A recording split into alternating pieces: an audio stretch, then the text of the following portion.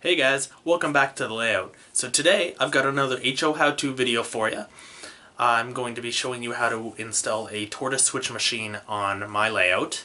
Um, basically, I'm going to be showing you everything I have to do, such as taking the springs out of my Peco switches, um, installing the double pull, double throw switches, uh, as well as the LEDs, since I do not use DCC control. Um, so I will be just installing that switch on a wood shim temporarily until I can get a fascia up. Um, this is my third try at making the video, so hopefully it's not terribly long and uh, I'm able to get it done this time. Uh, so let's go ahead and get started. Okay guys, here we are on my very messy and full workbench. Uh, I've laid out everything I'm going to need just because I like to make sure that I'm not missing anything. Helps me stay kind of organized. I hate getting into the middle of a project and then having to stop because I need a part or I'm missing something, so I try to tend to uh, get everything together first. Uh, and I'm just going to go through everything really quick. Uh, we just have some needle nose pliers just to hold things. Um, some snips just to cut wires uh, and other wires.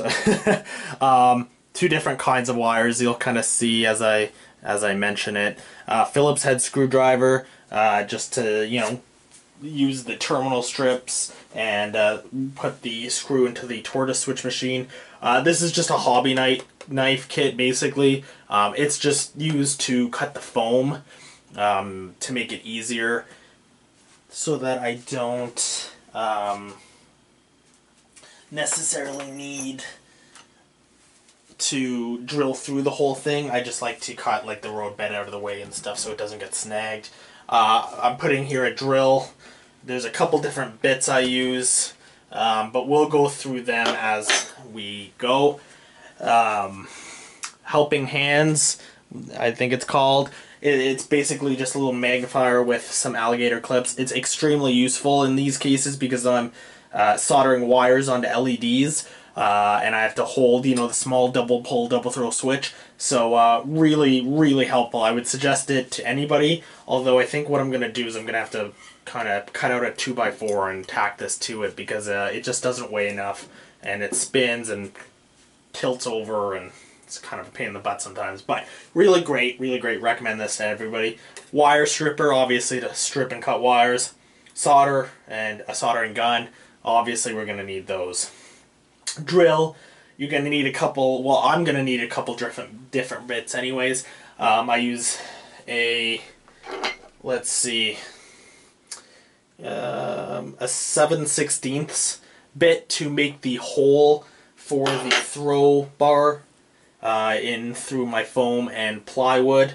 Uh, I use a smaller couple bits to make the holes in my what will be my fascia, but is right now wood shims. Uh, so I'm not going to worry about those sizes because it'll vary for everyone. Uh, we of course have the tortoise machine, the uh, the throw adjuster, and the screw. And I'm not sure if that's going to come up on camera. Oh yeah, it's there. And uh, we have a terminal block that you've seen in many of my wiring videos before. We have some Cat5e cable. Um, it's small enough. I like to use it. It's pretty well the perfect size for these tortoises. Um, I, I, I, like using it. It's a little temperamental when you get into using a lot of the terminal strips, but it solders perfectly onto the LEDs, onto the uh, the double pull, double throw switch when they're this small. It just works great. And all I do is I strip that. You've got the eight, uh, the four pair, the eight wires, and uh, they're color coded, uh, so you can kind of separate everything. Um, I typically don't color code everything the same because that would be just a waste of wire. So I basically cut out a strip and use whatever I need to use. Uh, I can just, you know, by looking at it, I can tell what goes where. But I'll explain that in more detail. Uh, we have a small double throw, double pull switch, which is no stranger uh, if you've seen my uh, programming track tutorial. And we've got two bicolor LEDs, uh, which are green and red. And what that means is if you put the voltage through one way, it is green. If you reverse the voltage, it is red. And that's very useful uh, because I don't need to wire up four different LEDs, uh, I can just wire up two. Alright, so uh, before we get started, I wanted to talk about the two wiring diagrams that we're going to be using. Uh, the first one is the tortoise switch machine, and then the second one is the double pole double throw switch. Uh, let's go ahead and start on the switch machine itself. on the tortoise, we have eight pins. All right, pin one, pin one and eight drive the motor. So what that means is if you put a positive on one and a negative current on eight, uh, the switch machine will go left. Okay. Uh, then what you need to do is you need to reverse the polarity for the motor to go right. It's a basic motor. It's just very slowly geared. So you know, you you one you put the wires one way, it will spin left and throw the switch left. You reverse the wires, change the polarity, it will spin right and switch the switch right, the turnout right. Um, basically, that that's it for the switch machine itself, and that's the only feature I use but it has more options. You can see from pin 2 to 7, uh, it actually has two switches built in. And what I mean by that is uh, pin 2, 3, and 4 we're going to be using as the example. Um, a lot of people tend to want to power their frog when you have an electrofrog switch. And what you can do is you can actually feed power to any of the pins and use them to uh, provide power to and from something. So in this case, what a lot of people do is they'll put, say, the outer rail on pin 2, the inner rail on pin 3, and the frog on pin 4. Because what happens is when, po say, positive is on pin 1, negative is on pin 8, say it is the you know the motor goes to the left and pin 4 and 3 have contact well when you reverse the polarity to 1 and 8 uh, pin 2 4 and 2 will then have contact instead and that will allow you to change the uh, the power to your frog in, in this case of the example. Uh, so people use that for signals for frogs. It's very useful. Uh, I'm not actually going to use that today, um, so we won't have to worry about that. But uh, you can find a lot of videos on explaining how to set that up if that's something you want to do. So moving kind of forward, uh, we have our double pull double throw switch. Now I'm using these very small double pull double throw switch, uh, but the wiring is all the same. So I've already kind of written on this. Uh, basically, it's if you don't know how a dub, uh, double pull double throw switch works, uh, you have three pins. Uh, at least in this case we have six and they are isolated from each other so the right is isolated from the left okay and the middle pin is typically uh, some form of output or input. It can be either way, but if the the switch is um, switched into the down position, that actually has the middle and top terminals connected. If you put it to the uh, top position, uh, then it will connect the middle and the bottom together. Uh, what we use it for in the tortoise switch machine kind of uh, wiring is because we have to change the polarity of pin 1 and 8, uh, we, we get our power from the 12 volt DC adapter from our wall, uh, which we'll, you'll see later on in the video. And you can see I've marked it uh, positive and negative, so that means these two pins are positive and negative. Uh, now we have two wires completely uh, isolated from each other, okay, and they actually go down so that uh, on the left bottom bottom left here it is negative because it is connected to this top right negative terminal. So you're basically taking the uh, power from the wall taking the negative side on the top terminal and then feeding power to the bottom left terminal as well and vice versa with the positive.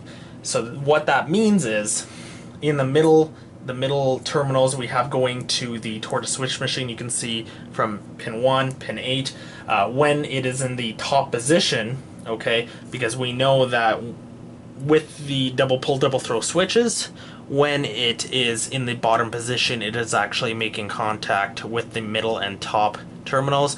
When we switch it, it comes along and makes contact with the middle and bottom terminals, okay? So in one position, you are connecting pin 1 to the positive, and in the opposite position, you are pin 1 to the negative, and vice versa with pin 8. Uh, that's basically it. uh, not terribly hard to understand. You can get these in all different sizes, as you've probably seen in my how-to for my programming track. Uh, in this case, this is a double pull, double throw switch with no off. It is on, on. Uh, but if you are using double pull, double throw switches with the off uh, option, that's okay too. That won't hurt it. So that's basically it. And what we're going to do is uh, we're going to solder some wires onto the tortoise switch machine. Now, in like I mentioned, uh, I am not using any of the pins other than pin 1 and 8. And if you're looking at a tortoise switch machine, you'll have a pin 1. Uh, you can actually see a 1 there. It likely won't be picked up on the camera, but it is just in the corner here. Uh, so let's go ahead. I'm going to get that soldered up and, uh, you know, basically it's really easy because as they've got these breaks in the terminals so you just apply the wire apply the solder it will stick to only that terminal um, and just verify that it does not spill over but it shouldn't unless you really give it a lot of solder. So I'm gonna go ahead and get that soldered up and we're gonna take a look on how that looks.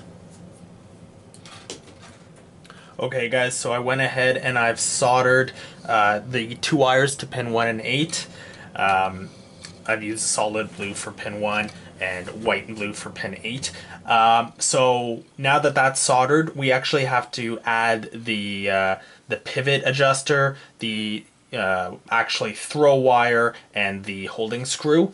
Now, the wire that comes for the throw wire uh, actually is only long enough to accommodate uh, some plywood. It will not work with one inch foam or two inch foam, which I'm using.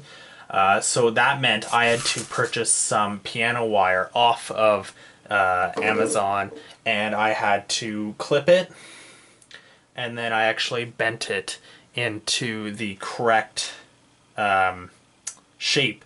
Now I'll provide a link below on what shape that needs to be but uh, it, it actually comes with the little tortoise instructions, but I'll link that down below. So all I've done is I've clicked this to the approximate length that will reach from the switch machine throw mechanism to the top of the two inch foam. So I've actually left about half an inch uh, extra, if not a little more, uh, because I can always clip it, but you, you want, you'd rather have extra than not enough. So what I'm going to go ahead and do is I'm going to put the pivot adjuster in and I usually leave this not quite at the top because it's I find it hard once it's against the plywood to get down if you need to adjust it.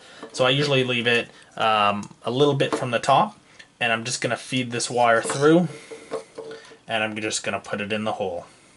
Now this is a thicker gauge piano wire than usually comes with the tortoise switch machines, so I've actually had to drill out that hole to accommodate that, and I've used a uh, jeweler's drill um, to do so. So now that the wire's in, I'm just going to put in the holding screw, and that just actually uh, goes up against the wire to hold it in place. So we're going to go ahead and do that now.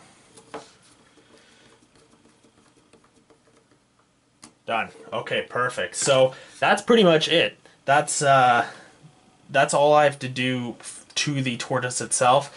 Um, now, a little tip: if you do plan on moving these by hand, like I just did, be very, very gentle.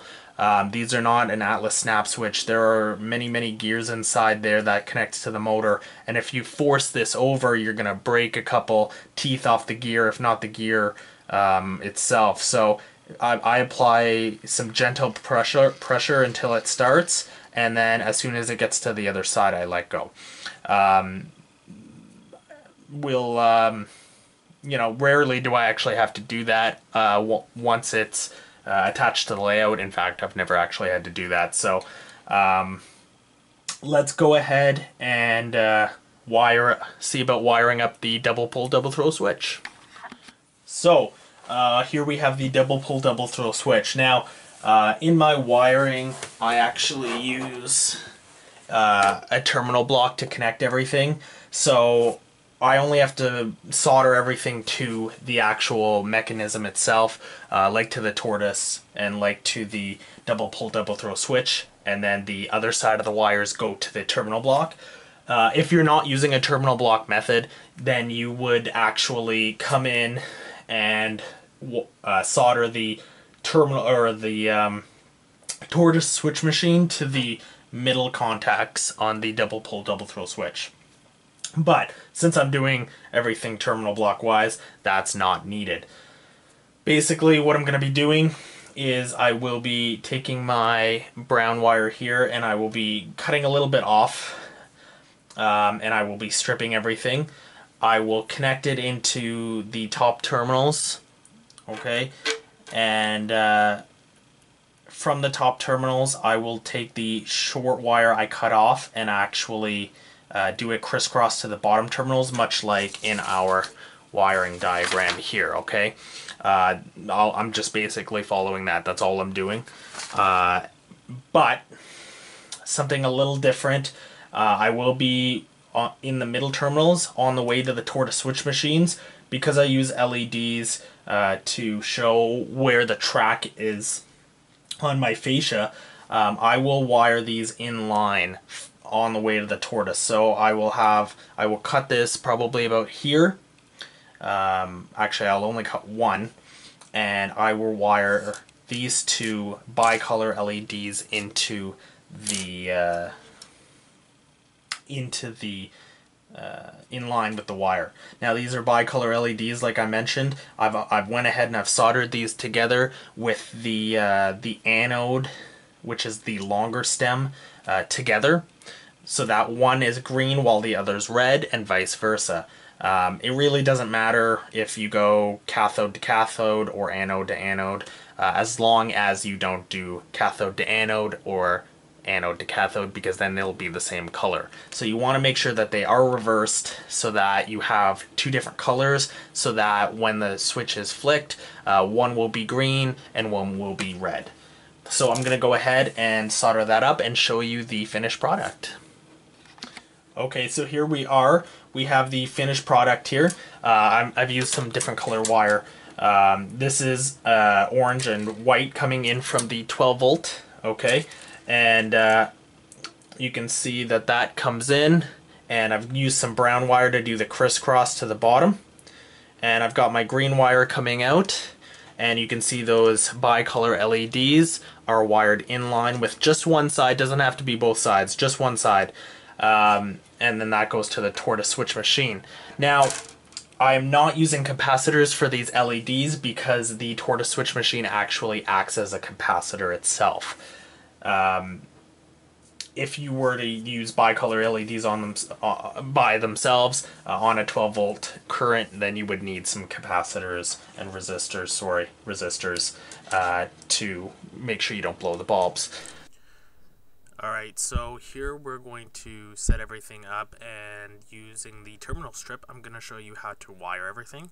Here we have my orange and white wires that uh, act as my 12 volt bus line for the tortoise switch machine power. And uh, what I'm doing is I'm just unscrewing the terminal block here so I can put all the wires in easier. So I like to keep everything uniform, uh, always having the orange on the outside, the white on the inside.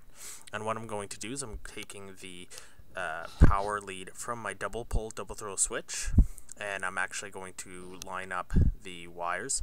Um, they actually match this time. Uh, typically I don't have any specific color code because I just use whatever wires I can uh, to try to use whatever I've got instead of wasting wire. But uh, in this case, it tends to line up, which is great for the example. so uh, excuse my head in the shot there. and uh, I am doing a voiceover, so uh, you'll have to excuse any weirdness.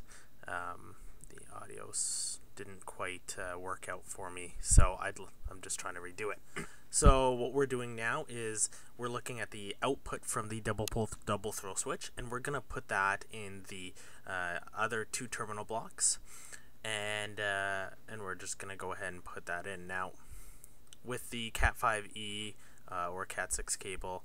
Uh, it is quite small, so terminal blocks you you just have to make sure that the screw actually does come down on the wire itself, and that you don't over tighten because you will snap the wire. Um, it is a little harder to use, but I still really like using it. Um, it's a little stiff, but uh, once you get everything where you need to go, uh, it really works out. So uh, here we have one side of the terminal block fixed, and we're just going to go ahead and attach the tortoise switch machine to the remaining terminal blocks. So that uh, the tortoise switch machine is now connected to the output on the uh, double pull double throw switch. So I'm going to go ahead and plug everything in. Please excuse the rat nest of wires. Uh, this is just to make sure everything is working. Uh, before I glue everything and, and screw everything in, uh, there's nothing worse than getting everything into place and then realizing it won't work. Okay, so you can see that as soon as I plug in, because the tortoise switch machine was in the center, it automatically goes to one side, and my LEDs uh, are lit up, one green, one red. Um, that uh, that's a good sign. and uh, basically, I'm just uh, showing you, you know, the fact that uh, the LEDs are lit and it's off camera. But when I switch them, when I switch it without my hand being in the way here, and I think that's what I'm trying to avoid.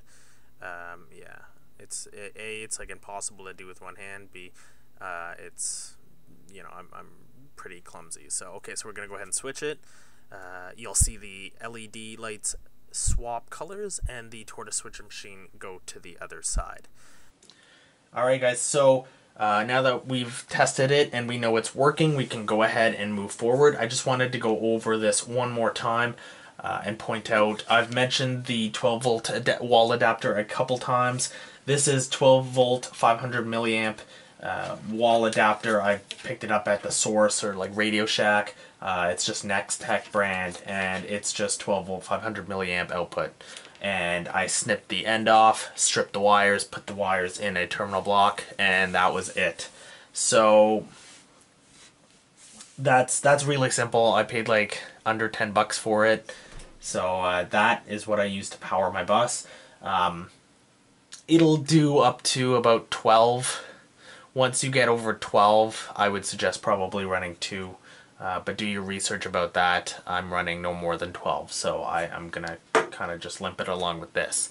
Uh, and just to go over this really quickly, we have my, my 12 volt input. Alright, so that goes into my terminal block, which connects directly to the input of my double pull double throw switch. The double pull double throw switch has the crisscross. Uh, the output has the two bicolor LEDs uh, wired in line opposite, so one's green while one's red. It's not turned on right now, obviously. Um, that continues on back to the terminal block, which is connected to the tortoise switch machine. So if you're unlike me and you're not using terminal blocks, you're going to basically have more fluid uh, wiring coming from your wiring bus to your double uh, double pull double throw switch, and then from your double pull double throw switch um, you may have LEDs, you may not, and it'll go directly to your torch switch machine. So uh, that's basically it. Let's go ahead and take a look at the area that we want to install this and then we're going to go ahead and take a look at the Peco switch. So uh, let's go ahead and look over there. Okay guys, so this is going to be the project area. Now it's a little bit um, unique to the point where this is where I put my lift out in and connect it here. Um, so first things first, uh, we are going to take a pin and stick down, or maybe multiple pins, but uh, and stick down we where we're gonna put this. Now I'm just gonna move the camera to the side uh, so that my arm does not get in the shot here. There we go. And uh, all I'm doing is making sure that that is where it needs to go. Uh, I'm going to put a pin in here. And there's no hole, so I'm just going to uh, maybe put two pins because you really don't want this thing moving around on you. It's uh, it just makes the whole thing harder if you can't be sure where things are going. And I'll put a pin in this side as well. Okay, so that is where the switch will go. And that's very important because once I drill the hole, if it moves around too much, then uh, that's not going to work. so um, make sure that your switch is, in fact, where it needs to be. And uh, once it is, make sure you tack it down. Now we're just going to get um, the hobby knife out. And uh, it doesn't really matter what kind of bit you use uh, or, or head. In this case, I'm using this where uh, it is simply sharp if it's gonna focus. I guess that's okay. Anyways, it's uh, it's only sharp on the end. This part's not sharp, um, but it really doesn't matter. You can, as long as you're cutting into the foam, like I said, you can pretty well use any knife uh, that you've got. Um, you just kind of want to try to make it as as kind of accurate as possible. And what I'm doing here is um, you can see that the hole for the throw bar is right here. Okay, so I want to make that hole pretty well centered. Um, and how I'm going to start that is I'm going to take my hobby knife and there's two ties on both sides of the throw bar. And I'm just going to kind of press down and, and, and cut the foam. Um, and uh, just make that line on both sides of the tie. Alright, it doesn't have to be absolutely perfect now. This tie's fairly far away, so what I'm actually going to do is just kind of make a mark on each side uh, so I can attach those. Okay, so once you have that mark down, some people might, you know, want to make um, a, a, pen mark or, or something like that, and that's fine too. Um, I always just kind of cut where the ties are, um, and then we can go ahead and uh, take the switch off. Okay, so I'm just going to, now that we've marked where we need to make our hole, uh, I'm just going to take these pins out and remove the switch or turn out um, there we go.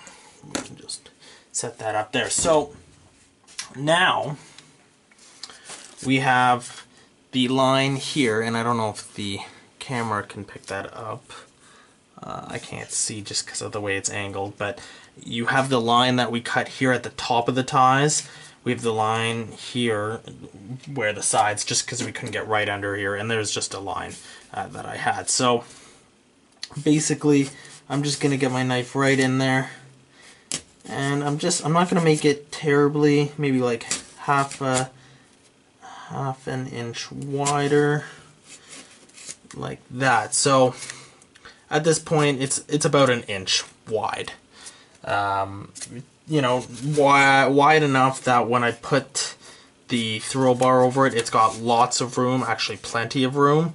Um, but thin enough that once I put the switch over it, you won't see the hole. Um, and to me, that's fairly important. So now I'm just going to put this in. And the reason why I'm cutting this instead of just drilling a hole is because I don't know if you can notice while I'm doing it, but as I'm doing it, the the rail, like the track bed here, is is kind of giving way. And what happens is you go to drill and it catches on the drill and it makes a mess, it tears it off, it uh, takes away more than you want it to make, you know, kind of a pain in the butt. Now, this is a rectangle. It is certainly nowhere near perfect, and it certainly doesn't need to be anywhere near perfect. I am just basically trying to get in there and cut so that I can basically slide my X-Acto knife freely side to side. Okay, so that's it.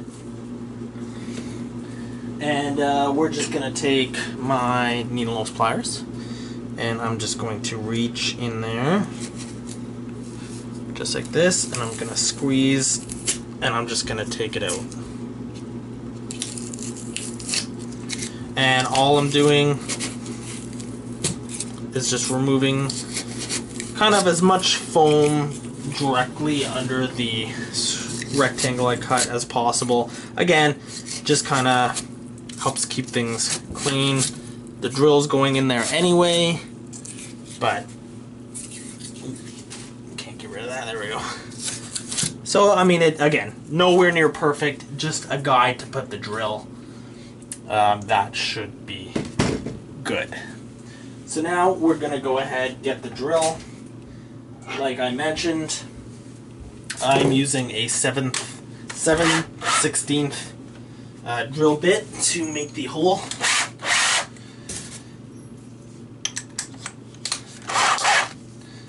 Alright. Battery should be okay. Now, with this, um, basically, you're going to want to get the drill, and, and you can see the drill pretty well fits perfectly in there as centered as you possibly can uh, and level. And uh, before you do this, I should probably point out make sure there's nothing underneath your bench work. Like for me, there's kind of a wire, but it's not quite there. Nothing's directly under it. Um, you know, that kind of stuff. Another idea is you're gonna want to control the drill because when you bite through the the plywood, it's gonna you know bite and it's gonna bring the drill through, and you're going to you know haul this part of the drill into your roadbed, and it's gonna dent it potentially, um, and I don't want that. So I'm going to I I'm to be very careful not to let it do that. But you may want to you know put a piece of cardboard with a hole in it uh, or something so that when it hits, it's not to dent your uh, your road bed. Now, um, that's pretty good. Go a little, so that little piece is catching, but that's okay. And I'm not going fast. I'm just trying to. There it goes. And that's it. So it did catch a little bit of the track bed, but nothing too bad. And um,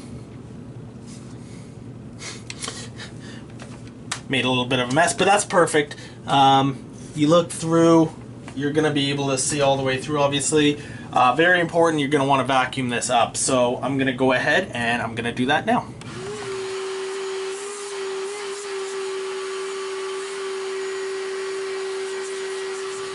Okay, so now it's all clean, everything's fixed up.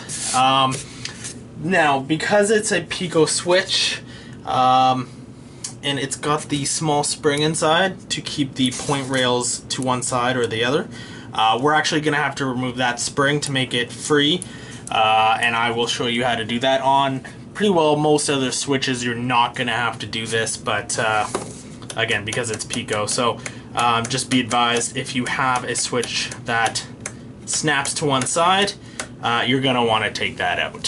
So let's go ahead, get back on the workbench, and uh, I'll show you how to do that. Okay, so here we are on the workbench again with the Peco switch. Uh, I believe this model is the ST-445, uh, or sorry, 245, um, or 244. I think one's the left, one's the right. Um, this is the ST-244. So we have this small cover here with these two little clips on each side. And uh, basically we're going to need to pop that off. And we're just going to get under it with a screwdriver. And just basically there's one side. Very gently. Be very, very gentle. And that's it. The spring actually came with it and that's unfortunate. So you can see, because this is slightly magnetic, the spring is, if I move that, the spring is on my screwdriver. And that's all it is. It's just a little piece of metal and it acts as a spring. Um, you're going to want to take these out. Now I'm going to save these in case I ever want to put it back in.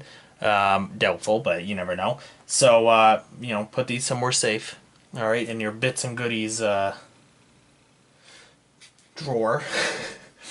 and in some cases, you'll have to take the back out. So I just lifted it up, and you can see the back came right out. So be careful you're not bending these two pins here. Uh, if you do, try to bend them back as straight as possible. All right, and I'm just going to try to get that back and line it up and place it in. Okay, that's and now this clip's pretty tricky. Um, you just kind of gotta.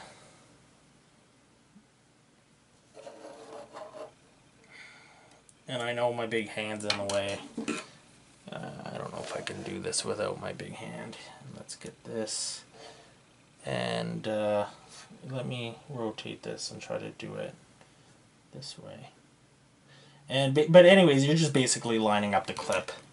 Um, my big hand's gonna, it's upside down. Just put it back together minus that spring. If you're uh, not under pressure or not having a camera tape you, it's probably goodness, it's gonna be a lot easier to get back on. But uh, there we go. There we go. Done. So that's, uh, I didn't even get that on camera, I don't think. For crying out loud, guys.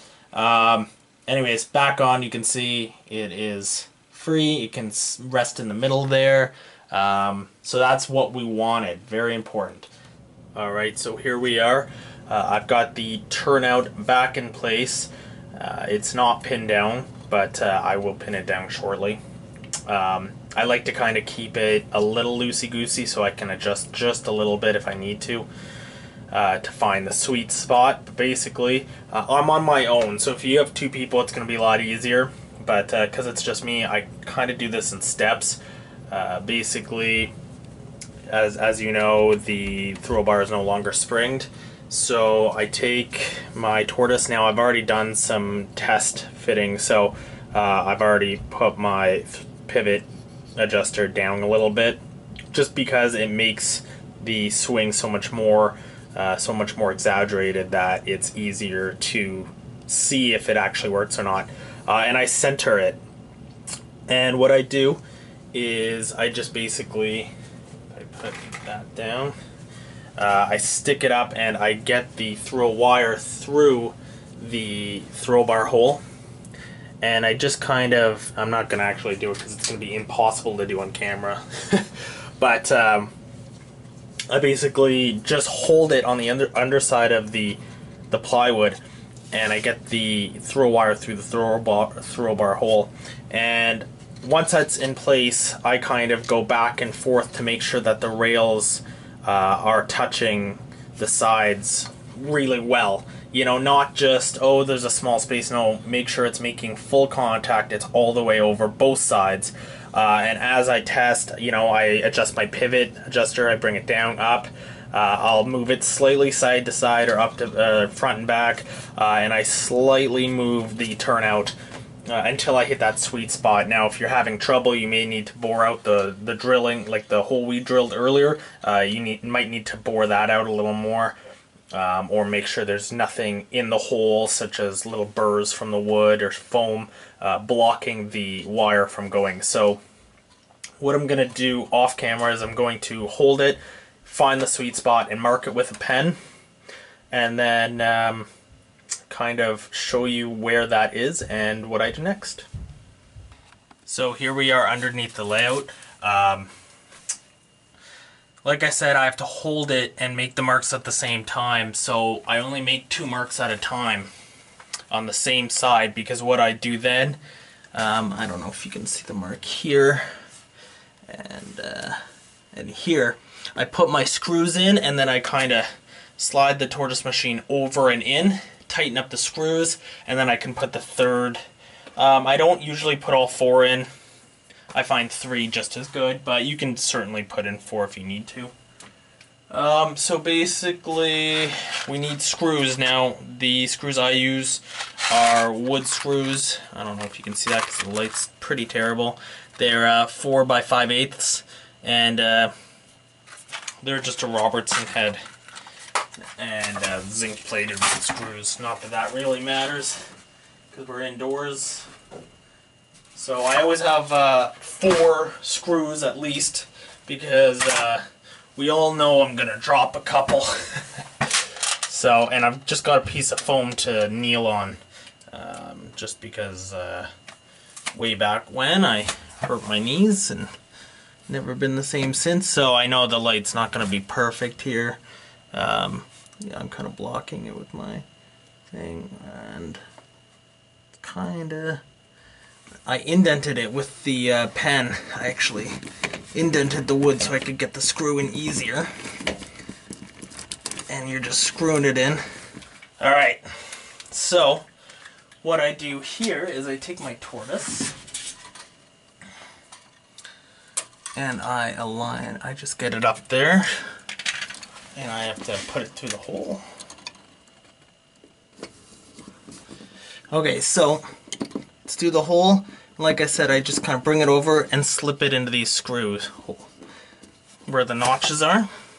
And actually, I can even let that sit on its own, which is awesome. And then you just tighten the screws. Alright, so I actually did end up putting all four screws in. And uh, you can see, like, it's not going anywhere. So, that's perfect. You don't want it to move, nothing. So, uh, uh, let's go ahead and make sure on the top of the layout that everything is good and then it's basically just wiring it up and we're done. Okay, so here it is on one side. Let me just reach under. And it kind of snaps, but uh, that's just these Pecos. And you can see all the way over. So it's perfect. Great. So I'm going to make my small control panel. Um, nothing special. I'm just drilling holes in a wood shim and then gluing everything there. and then I will uh, attach everything the exact same way I have shown you guys already. And uh, we'll just hook it up to our power, make sure it works one more time on the actual layout, and we're good to go. Okay, so you can see that I've got my little control panel here. It's all wired up. And uh, let's go ahead and give it a test. Goes over. Goes over.